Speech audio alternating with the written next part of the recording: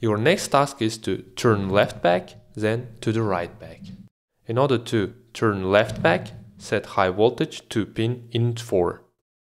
In order to turn right back, set high voltage to pin in 2.